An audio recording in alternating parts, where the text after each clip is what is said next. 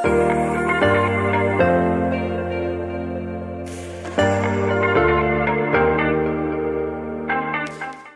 everyone. My name is Cameron Burke. I'm an associate consultant at Revelwood, and I'm going to do a quick demonstration on creating repeating reports in OfficeConnect.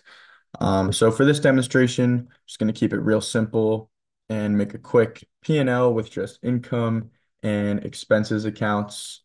Um, like I said, keep it real simple today and just show you how the functionality works. So let's put pull on a time span here.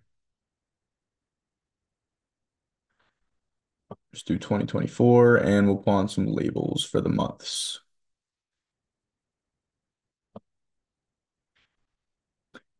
All right, so let's refresh our report. And we're going to get a quick P&L income and expenses here. Um, so if you come over to this review pane, you're going to see that this report is on the top level, Revelwood Inc.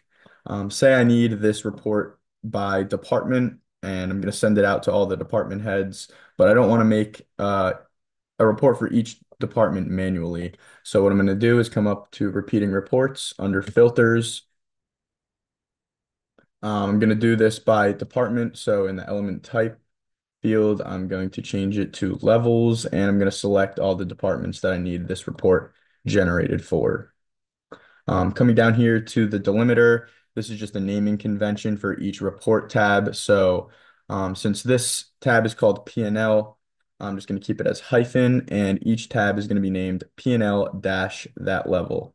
Um, so I'm going to click create. And as you can see at the bottom, just like that, OfficeConnect creates a separate report for each department.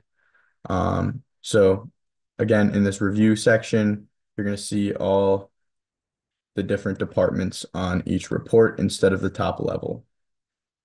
Um, so as you can see, there's a lot of flexibility with the repeating reports feature. Um, you can leverage it however you want. Uh, this is just a quick example.